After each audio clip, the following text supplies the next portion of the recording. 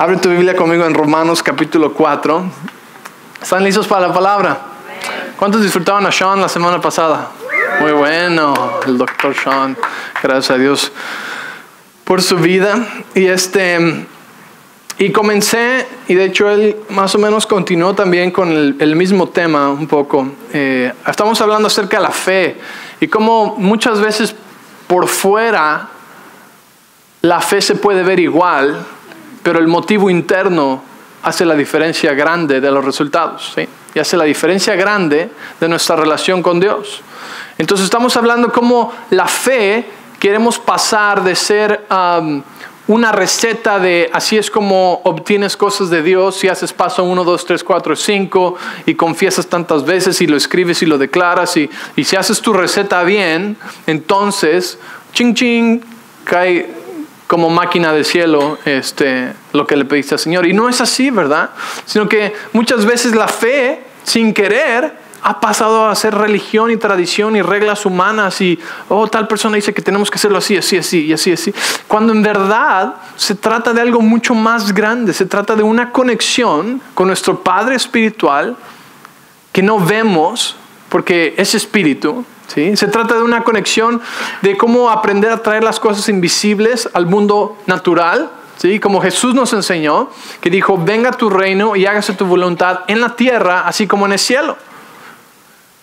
¿Y cómo vamos a saber cómo es en el cielo si no leemos nuestra Biblia? Si no pasamos tiempo en oración, si no hablamos con nuestro Padre, si no tenemos una relación con el Espíritu Santo, si no oramos en lenguas, ¿sí? que nos revela y nos enseña cosas escondidas.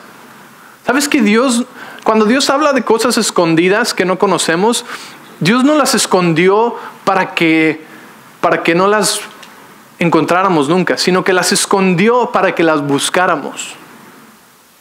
¿Entiendes la diferencia? ¿Cuántos han jugado las escondidillas? Ok. ¿Alguna vez te escondiste tan bien que nunca te encontraron? Sí. Es triste, ¿verdad? No es tan divertido.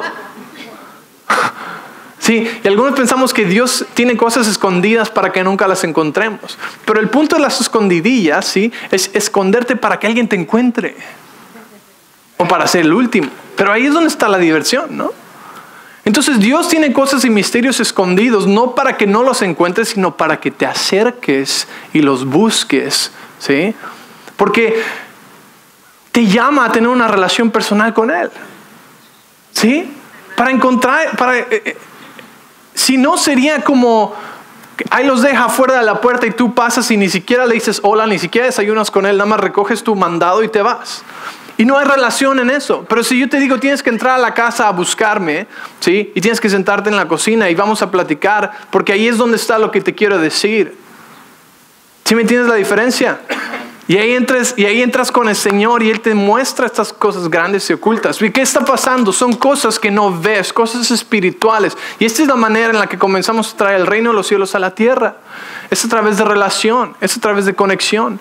No decimos que, que, que no somos religiosos y que no somos tradicionales solo para ser diferentes y para decir que nosotros somos los que no tenemos denominación y que no se trata de religión y reglas, sino de relación. No decimos eso nada más por decirlo, sino porque en verdad no se trata de una receta, sino se trata de una conexión con tu Padre Celestial. Y es en esa conexión y dentro de esa relación donde Él te alimenta, donde Él te habla, donde Él te revela cosas escondidas, grandes, misterios y los planes para tu vida que tú jamás pensaste que podían ser posibles para ti. ¿Están ahí? Entonces hemos, hemos estado hablando de esto, bueno, comenzamos hace dos semanas y, este, y como la fe, no queremos que nuestra fe caiga en religiosismo. ¿Sí? sino que nuestra fe sea parte de nuestra relación, sea nuestra herramienta para traer el reino de los cielos a la tierra. Romanos 4:18 dice, él creyó, está hablando de Abraham, ¿ok? Él creyó en esperanza contra esperanza para llegar a ser, a ser padre de muchas gentes, conforme a lo que se le había dicho y que se le dijo, así será tu descendencia. Versículo 19. y no se debilitó en la fe al considerar su cuerpo, que estaba ya como muerto, siendo de casi 100 años. Y tampoco consideró la esterilidad de la matriz de Sara, ¿ok? Entonces, ¿qué es lo que está diciendo aquí? Su fe era, lo que, que es la sustancia, ¿verdad? A la esperanza que Dios le había dado. Dios le dio esperanza y Dios le dio una visión, ¿sí? Por eso nuestra esperanza está tan interconectada con lo que podemos ver con nuestros ojos espirituales. Porque la esperanza es poder ver algo que todavía no está manifestado. ¿sí? Tu esperanza está en ver tu relación restaurada con tus padres o tu relación restaurada con tus hijos. Esa es esperanza. En verte casado con hijos, en verte sano, en ver a alguien. ¿Sí me entiendes? Eso es esperanza. Es algo que todavía no es, pero que puedes ver. Y nuestra fe es substancia que añade esa esperanza. ¿Sí? Es la parte de la mezcla que hace que se substancie. Por eso la esperanza es tan importante. No podemos desechar la esperanza de Dios. Y hablo de no esperanza humana de, oh, espero que pase. Si no pasa, pues ni modo, porque solo espero. No, estoy esperando, hablando de esperanza divina. ¿Sí? La esperanza que Abraham tenía. Porque dice que su fe, su substancia de estar esperando y expectante, no se debilitó ni se desanimó al considerar su cuerpo. ¿Ok? Y de esto voy a hablar un poco. Porque esto quiere decir que él tuvo que haber considerado su cuerpo, su estado físico, lo que sus ojos naturales y sensuales sí podían ver. Que era su estado físico, tal vez viejo, cansado y arrugado. ¿Quién sabe? ¿Cómo voy a ser padre de muchas naciones cuando estoy? Entonces dice que consideró y una de las cosas que a veces eh, podemos caer en, un ciclo o en un tipo de mentalidad es la negación, el negar ¿sí? las cosas físicas. Porque la palabra no nos dice que neguemos lo que vemos en este mundo. Porque Abraham consideró, ¿sí? no dice que dijo, oh, yo no estoy viejo, yo no estoy viejo, yo no estoy viejo. ¿sí? Oh, mi esposa no es estéril, mi esposa no es estéril. No, no, espérate. Sí estaba viejo y sí estaba estéril. ¿Ok?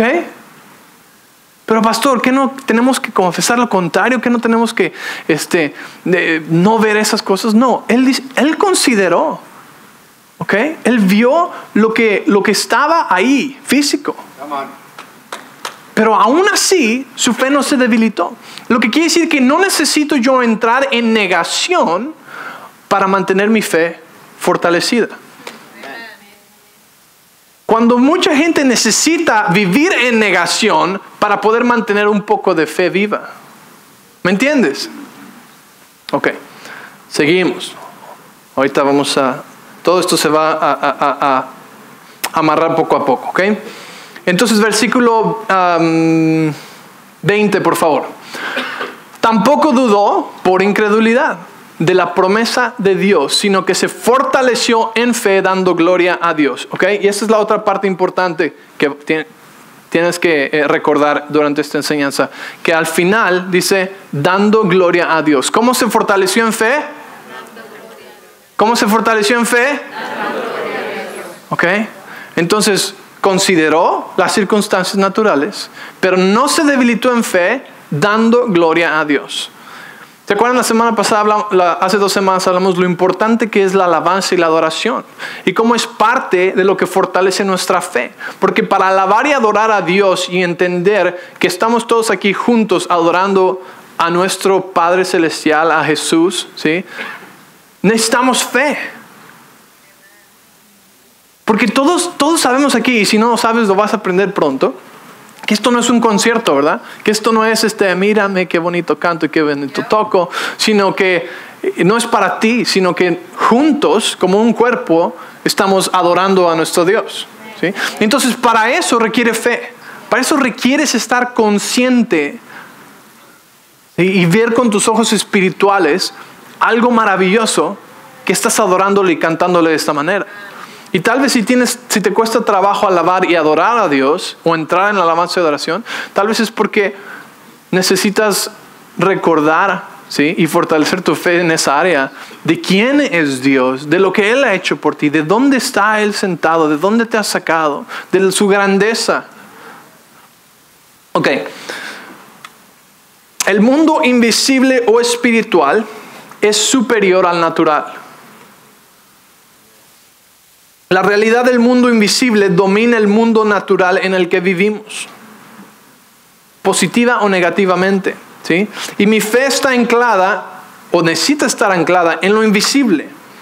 Cuando tengo una idea equivocada de quién es Dios y cómo es mi fe, y cómo es Dios, mi fe es restringida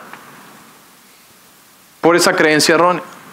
Entonces, si yo pienso que Dios no es un Padre bueno, sino que es un Dios castigador de condenación.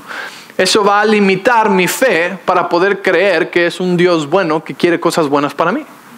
Simple. ¿Sí? Si creo que Dios permite enfermedad para construir carácter, no voy a tener la confianza de orar y de realmente creer por sanidad.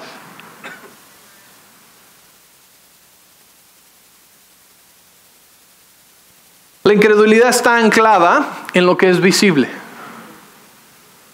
Cuando, cuando yo experimento incredulidad o temor, ¿sí? Eso está anclado en mis cinco sentidos, en mi mundo natural, en lo que puedo ver, oír, oler, palpar, gustar. ¿sí? Esto no me huele bien. ¿Sí? esto no se ve bien, esto se oye muy mal. Eso es, esa incredulidad está anclada en lo que vemos, en el mundo natural.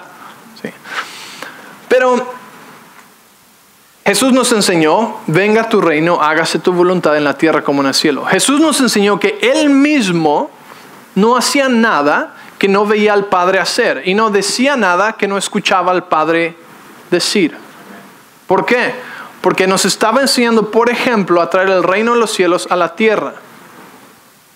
Y para traer el reino de los cielos a la tierra necesitamos tener una relación con nuestro Padre Celestial para que nos enseñe las cosas del cielo, ¿sí? para traerlas a la tierra.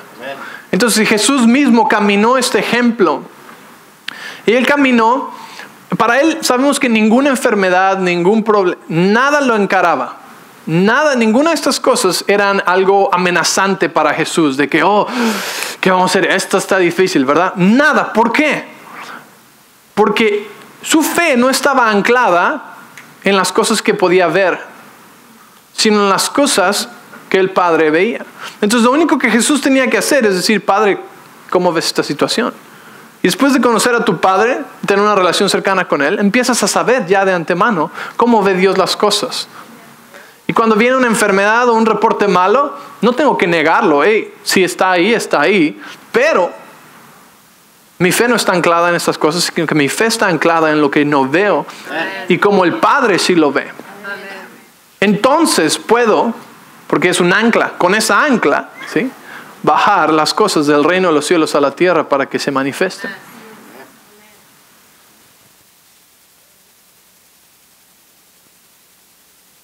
La incredulidad honra al ambiente natural y lo pone como superior al ambiente espiritual. Entonces aquí está la clave. Lo que Abraham hizo al considerar su cuerpo ya viejo, al considerar la, esterilidad de Sara, ¿sí? lo que Abraham hizo al, eh, eh, fortalecer su fe, dándole gloria a Dios, que en los salmos, ¿cuántas veces les he dicho que cuando dice magnifiquemos al Señor, que engrandezcamos al Señor. ¿Qué pasa cuando engrandecemos al Señor? ¿Qué pasa cuando ves algo a través de una lupa? Se ve grande, ¿verdad? Entonces nosotros tenemos una lupa. Y tú puedes engrandecer el mundo natural o engrandecer el mundo espiritual.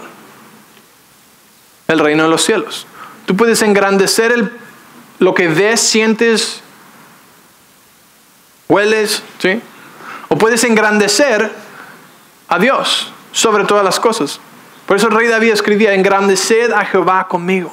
¿sí? Entonces Abraham practicaba este principio. Abraham, ¿sí? considerando su estado natural, pero ¿qué hacía? Ponía por superior la promesa invisible, espiritual del Padre. Engrandecía la promesa de Dios. Ok, sí estoy viejo, sí mi esposa está estéril, pero mi fe está anclada en algo que es superior a este mundo. ¿Sí me entiendes? Lo que tú veas como superior es lo que va a dominar tu realidad aquí en esta tierra. Entonces tú puedes echar tu ancla en las cosas de la tierra y decir, sí, me voy a morir de cáncer porque es lo que el doctor dijo y qué crees que va a pasar. O puedes anclar tu fe en las cosas de los cielos, en las cosas del Padre Celestial, en la verdad de Él, en las promesas de Él y engrandecerlo a Él. Y entonces, ¿de dónde va a venir tu resultado? De dónde tu fe está anclada. La, la fe es un puente, la fe es un vehículo, la fe es prácticamente, ¿qué estás considerando superior? ¿Lo que puedes ver o lo que no ves? ¿Entiendes?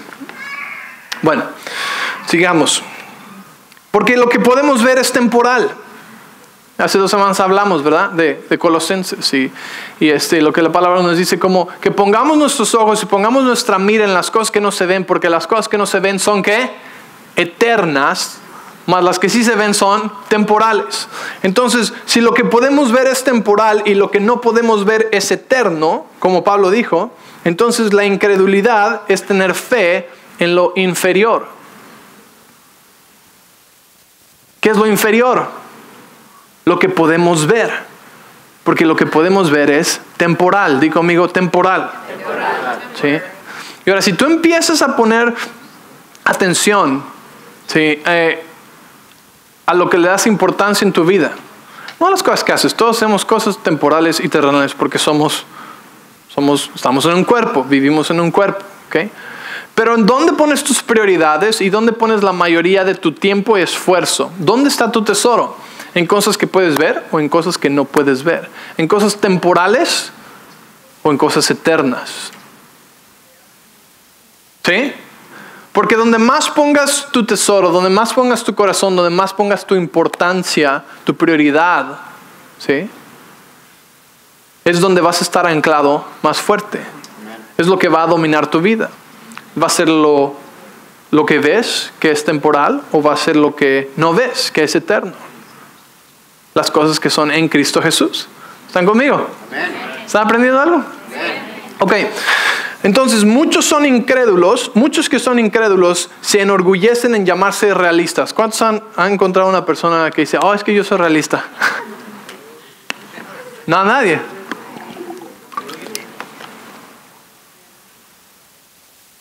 normalmente atacan la fe. Cualquier cosa, cualquier tipo de esperanza, los realistas la pachurran, ¿sí? Y, este, y se enorgullecen en llamarse realistas, pero la realidad es que simplemente creen más en lo que ven que en lo que no pueden ver. Honran el mundo material más que el gobierno espiritual. El materialismo es siempre fe en lo natural como una realidad superior. ¿sí? ¿Cuál es la realidad superior que gobierna tu vida? ¿Lo que puedes ver o lo que no puedes ver? La sociedad sensual, y dijimos que sensual es simplemente porque es lo que está conectado con tus cinco sentidos solamente, ¿sí? lo natural, es formada por lo que nuestros sentidos pueden percibir y hemos, hemos sido entrenados a creer solo en lo que vemos. Entonces la fe, como les dije, no es negar el ámbito natural. Vivimos en un ámbito, ámbito, natural. Nuestros cinco sentidos nos fueron dados para percibir el ámbito natural. Pero cuando decimos vivimos en este mundo pero no somos de este mundo, en verdad tenemos que creer eso y considerarlo como superior. Aunque yo vivo aquí, no soy de aquí, por tanto mi ámbito superior es el espiritual, no el natural. El que gobierna mi vida, el que dicta mis circunstancias, no es lo que veo, siento, oigo, sino lo que mi Padre dice. ¿Están ahí? Entonces, si el doctor dice que tienes un tumor porque lo acaba de ver y sacó una radiografía y sacó un, pues no sé todos esos términos, un holograma, un, un selfie, no sé, y vio el, el, tumor y te dice que lo tienes, no tienes que negarlo y decir, no, no está ahí, no está ahí, no está ahí, no está ahí, no está ahí, no está ahí. No, ¿verdad? Parecíamos locos. Porque Abraham consideró su estado natural. Más sin embargo, ok, gracias, pero ¿cuál es mi realidad superior? ¿A quién voy a honrar? ¿Sí? Como superior a cualquier cosa natural que pase aquí. ¿Estás ahí? Entonces, ok, ahí estás, pues te vas a ir. ¿Por qué? Porque mi fe está anclada en lo que no veo. Y lo que no veo es lo que creo que son las llagas de Jesucristo, que hace dos mil años en la cruz pagaron por cualquier tipo de enfermedad, tumor, dolor que pueda manifestarse en mi cuerpo. Así que mi realidad superior, lo que yo considero más grande que cualquier otra cosa, viene a invadir mi cuerpo natural. El reino de los cielos viene a la tierra. Y entonces, como es en el cielo, es en la tierra y es en mi cuerpo. Y en mi cuerpo entonces es sano. Amén. El diablo no tiene dominio en el cielo. Por eso solamente puede afectar la tierra cuando el hombre entra en acuerdo con él. ¿Y cuántas veces entramos en acuerdo con él? ¿Sí? Tu mamá le dio osteoporosis, así que a ti también te va a dar osteoporosis. Ah, sí, ¿verdad? Pues que, pues no hay nada que hacer, ¿verdad? No, no hay nada que hacer. Entras en acuerdo con el diablo. Empiezas a decirle así a todo lo que el diablo te dice. Tus padres fueron pobres, así que ¿qué crees? ¿Qué vas a hacer tú? Pues es lo normal, vas a ser pobre toda tu vida. Ah, pues sí, ¿verdad? Okay. Y entramos en acuerdo con lo que el diablo nos dice, con lo que él nos muestra, con la evidencia falsa. Mira, te voy a decir algo, he hablado de evidencia falsa antes. Y el diablo es bueno para crear evidencia falsa. Di conmigo, evidencia falsa. ¿Sí? Puede venir como síntomas, ¿no? Puede que acabas de leer en Google que, que si te huele a quemado tienes un tumor en el cerebro. ¿Sí? Y entonces oliste algo a quemado y entra el temor, entra el pánico y entran las mentiras del diablo y te empieza a convencer. Y después un pequeñito dolor de cabeza y te dice, sí, es el tumor, ahí está poniendo presión. ¿Y, ¿y qué pasa? Entras en acuerdo con una mentira, entras en acuerdo con el ámbito natural y lo empiezas a honrar como superior a cualquier otra cosa que hayas aprendido en la iglesia por los últimos 50 años. Porque el diablo toma evidencia, porque acuérdate que el diablo solamente puede afectar cosas en la tierra. Entonces toma cosas de la tierra, cosas del mundo sensual, del mundo natural, y te forma una evidencia, como un anzuelo, le hace, y a ver si pesca, ¿no? Y ahí vamos. Y si nos agarra, entonces ya empieza a tomar terreno en nuestra mente, en nuestros pensamientos y en nuestro corazón. Entonces Él solamente tiene dominio aquí en la tierra cuando entramos en acuerdo con Él. Entonces constantemente tenemos que recordarnos que nuestra realidad superior es la realidad del cielo. Es como en el cielo, así en la tierra. Es lo que Jesús nos enseñó. Es lo que tenemos que recordarnos.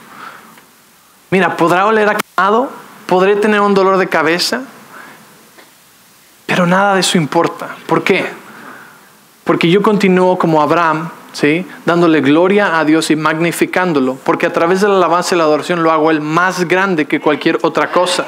¿sí? Lo honro por sobre cualquier cosa natural. ¿sí?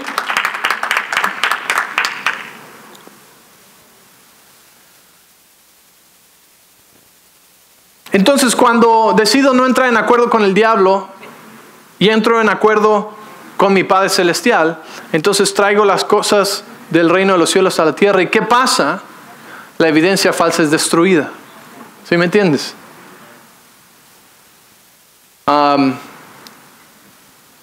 nosotros recibimos evidencia falsa. hace, pues hace como nueve meses, cuando eh, nuestra bebé Victoria nuestra quinta y última, este, ya saben cómo, cómo hacen los ultrasonidos, ¿no? Hicieron un ultrasonido y este y encontraron que pues encontraron una mancha blanca y, y se apanicaron, ¿no? Y, ¿Y el qué dirán? Aplasta tus sueños, tu fe y tu esperanza. Más rápido de lo que cualquier otra cosa pueda hacer. Entonces, mucha gente prefiere no creer, no tener fe, no tener esperanza, no tener expectativa por el temor al que dirán los demás si se enteran de que estoy creyendo, esperando una locura, algo tan bueno y tan grande que me pase a mí. ¿O qué tal que piensan que vivo en negación? ¿no? ahí está fulanito, este vive en negación. ¿sí? Él, no, él, cree que es rico, pero míralo nada más. Entonces muchos se detienen de, creer, se detienen de tener esperanza, se detienen de compartir sus sueños con otros ah, o de hablar siquiera de esas cosas. ¿Por qué? Porque tienen miedo al que dirán. A que otros piensen que está viviendo en negación. Tal vez sí te diagnosticaron algo y estás luchando y estás en fe y estás esperando tu sanidad manifiesta en tu cuerpo, pero tal vez te da miedo que otros sepan que estás esperando sanidad, porque vayan a decir que vives en negación. Y este tipo de cosas te roba de mantenerte fuerte como Abraham. Imagínate lo que pensaban de Abraham. Imagínate lo que pensaban de Abraham casi 100 años y el hombre cree que va a ser padre de naciones. Y Sara camina con bastón y andadera. ¿Cómo va a dar a luz esa mujer? ¿Sabes que Dios les cambió sus nombres también? Sus nombres significaba Padre de Naciones, Madre de muchos. Como que, o sea, el qué dirán estaba a todo lo que daba ahí con ellos, ¿no? Pero no se debilitaron en su fe ni por lo que vieron, sino que mantuvieron su fe fuerte, dándole gloria a Dios, manteniendo la realidad superior a la de este mundo por encima de todas las cosas. Cuando actuamos de esta manera, honramos y tememos al hombre y la realidad terrenal como superior a Dios y como superior a la realidad del cielo. Entonces no solamente te estás robando a ti mismo, sino que estás honrando al hombre, a las personas, a los que diranes. ¿Sí? Lo estás honrando por superiores a Dios. Cuando te avergüenzas de tu fe o te avergüenzas de tu esperanza te avergüenzas de la palabra o de la promesa que Dios te dio, es porque acabas de poner a un hombre por encima de Dios.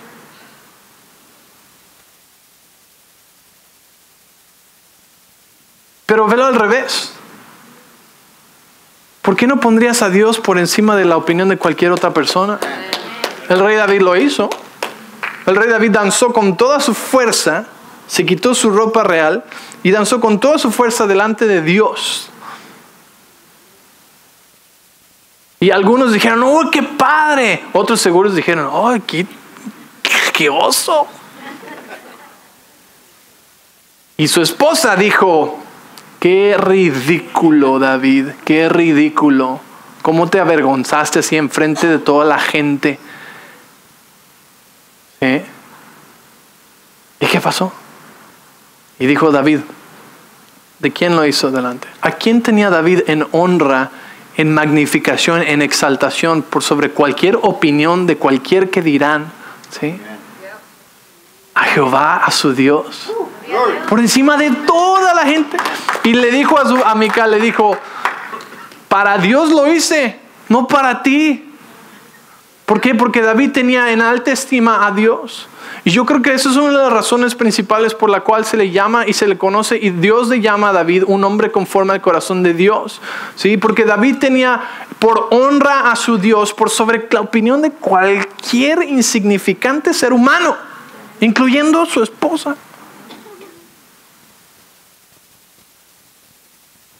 ¿Me entiendes?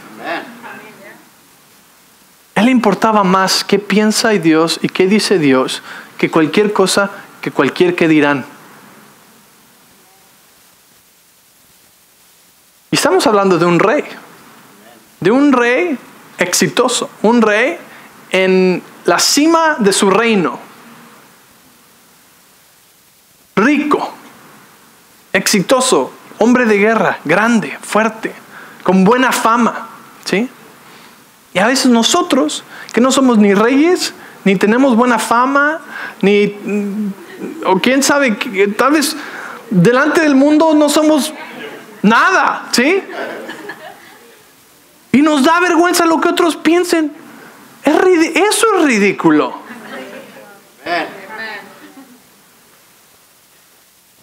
Aparte que nuestra realidad espiritual es que somos, somos realeza, somos hijos e hijas de Dios.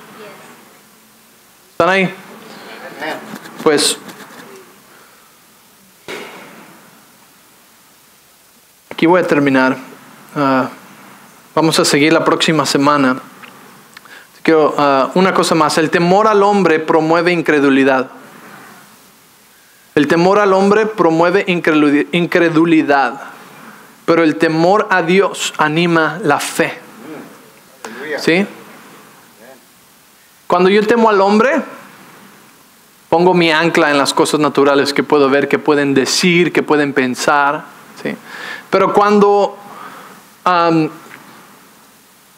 cuando temo a Dios, y hablando del temor, de respeto, de honra a Dios, ¿sí? entonces anima mi fe.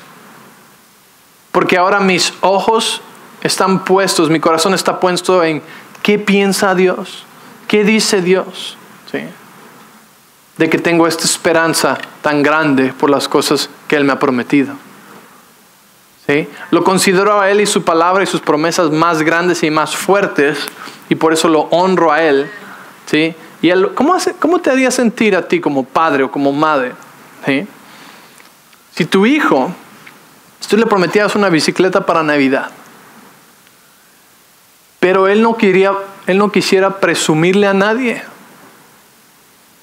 porque tiene miedo de que no vaya a pasar y entonces ¿qué van a decir sus amigos?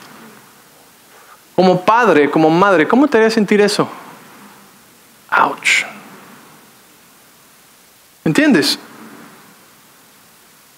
Mi hijo tiene como por superior a sus amiguitos a mi palabra y a mi promesa. Y prefiere no hablar de esa esperanza, prefiere no que no piensen que esté negación porque le voy a comprar una bicicleta por si no pasa. ¿A quién está honrando más? Y entonces tú, ¿a quién honras más? ¿Sí? ¿A tu padre o a los hombres?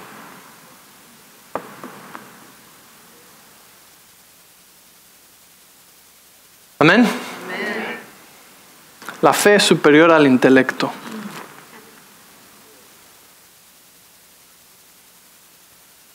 Porque la fe nos conecta al intelecto de Dios, que es más grande que el intelecto de cualquier ser humano, cualquier humanoide, hasta los más inteligentes. Bueno, he dicho mucho. Si aprendiste algo, dar un aplauso, Señor. Amén. Vamos a orar. Cierra tus ojos ahí donde estás. Y, Padre, yo te doy gracias en esta tarde, Señor, por tu palabra, Señor. Gracias porque nos has dado, Señor, acceso al cielo para anclarnos de ahí y de ningún otro lugar. Gracias por el privilegio de vivir en esta tierra y poder traer tu reino a esta tierra, Señor, a través de nuestras vidas. Y te doy gracias en esta tarde, Señor, por, por esta nueva revelación de la fe y de la esperanza que trae los cielos a invadir la tierra, Señor. Vivifícala, Señor, en nuestros corazones. Y ayúdanos a vivir de esta manera, Señor, todos los días. Te honramos a ti, te amamos, papá, y te decimos gracias. Gracias, Señor. En el nombre de Jesús.